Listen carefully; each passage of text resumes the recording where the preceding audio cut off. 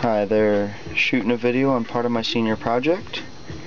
These are six bars of 20 LEDs that'll be displaying the output bandpass frequency to the user. Lower frequencies to higher frequencies, which I'll be using them for that. We're using the chip LM3914 across six of them, and you can see with a 0 to 5 volt signal off this potentiometer that I can achieve, this would be 0 volts, about 1 volt, about 2.5 volts, about 3, about 4, and then finally to 5 volts, which potentiometer is turned all the way. And you can see as I start spinning it, it slowly comes back down to 0 volts, showing that I have full control of all of these. And they're right around the same same incrementing value except for these two. I'm guessing that's because these two are the same chip and these four are the same chip.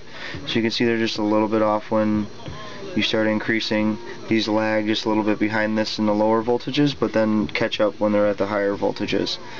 Um, also these are my some of my first printed circuit boards using the toner transfer method with an iron. It was kind of interesting. You can see I'm going to pull, I think the amber was my most difficult one.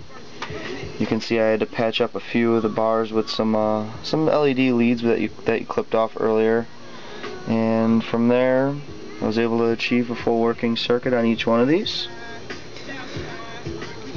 And again, here we go from zero volts, and I start incrementing one more time, about about halfway with the potentiometer, also about halfway with the LEDs all the way up until full and the potentiometer is turned fully to the right allowing full 5 volt on the input signal of each one of these chips across the green the green wires on the input. I uh, hope you like it. If you have any questions, I plan to shoot a video on a printed circuit board later on instructing on how just to do that. I'm just trying to work out a few of the other kinks that I'm having with it, that's all.